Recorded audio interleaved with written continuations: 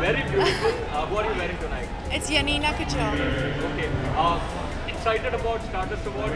We are really hoping it's you for Neerja. भगवान जाने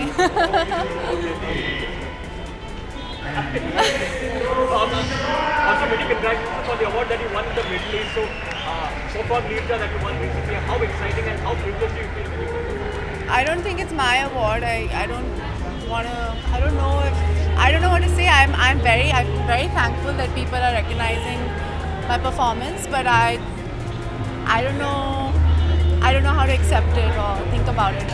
Plans? Yeah, it's my dad's uh, birthday, तो unka birthday jo hai, wo Christmas Christmas पे hai. So, we actually always do a family thing.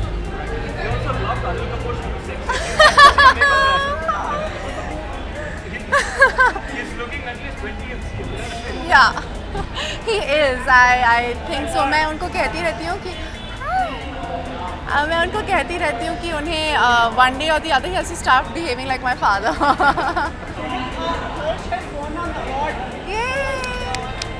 He's looking handsome also. He deserves it. He deserves it, and more more for him in the future. Thank you. Before you leave, can you wish your viewers for the New Year? Yes, a very very Merry Christmas, Happy Holidays, and a Happy New Year.